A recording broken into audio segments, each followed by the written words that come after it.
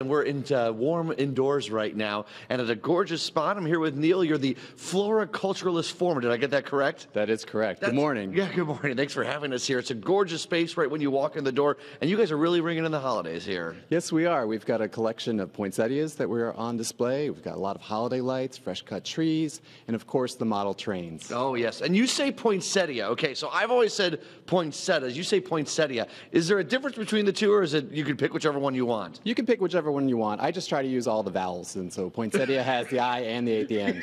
use all the vowels. I like that. Okay, this plant over here, this poinsettia, kind of represents why poinsettias became part of a holiday tradition here in the States.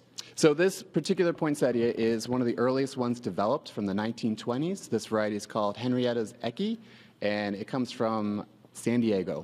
Okay, so why did it become such a popular tradition here in the States? Well, the poinsettias were first discovered in Central America, particularly Mexico, and the U.S. ambassador to Mexico, uh, his name was Joel Roberts Poinsett, and so the, point, the plant is named after him, after he brought it back to South Carolina and started his own greenhouses. All right, so you've got so many different varieties here between this and the Garfield Park Conservatory, over 700 different kinds of point or different poinsettia plants.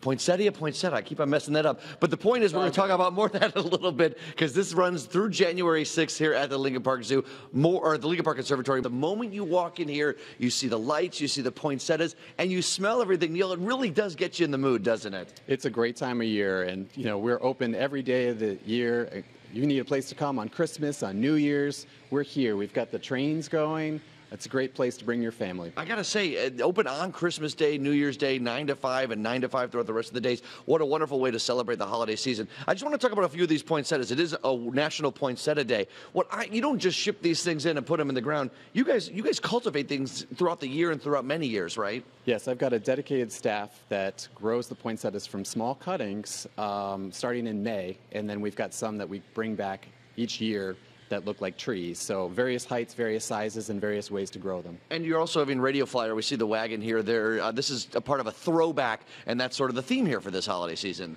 The Holiday Memory Show features um, Radio Flyer because they are an iconic element of Christmas and other holidays. So we're very thankful for their donations. That's wonderful. I'm going to open up all these gifts, guys, in a little bit. Every single one of them. I'm going to bring back some of these gifts back to you guys in the studio. All right. So uh, everyone has poinsettias for the holiday season, and I might as well ask the expert, Neil. Can you keep these things alive? What is so difficult about them? How long can we keep poinsettias going?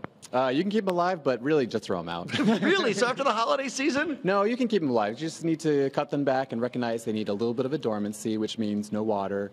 Uh, and then come September, they want to make sure that there's not extra light. So no street light, no outside ambient light, no light in the house because the flowers only start to produce on short day, so they respond to the lack of light. Okay, that seems really complicated. Just throw them out Just after the holiday. them out. Yeah. Buy new ones. All right. So obviously we got so many poinsettias here, or poinsettias, depending on what you call it. It's a gorgeous display, and it's all free. Yes, it is. Uh, open nine to five every day, including Christmas. Come, come see us. We're open. Exactly, and it's free. Come on by. And I got to say, walking through not only this room, the, hol- uh, the the showroom, the fern room, it really does take you. It makes you escape the city urban life that we have.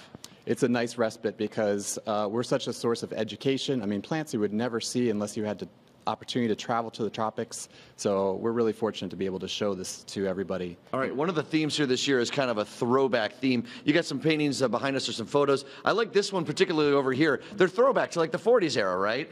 Yes, between the 40s, 30s, 60s, uh, just a collection of photography, and they are part of the holiday memories. I love that photo. It doesn't look staged at all here. Like those two women, that's just naturally how they were taking care of the poinsettias. And guess what, guys? We've recreated the photo here. How you feel, Neil?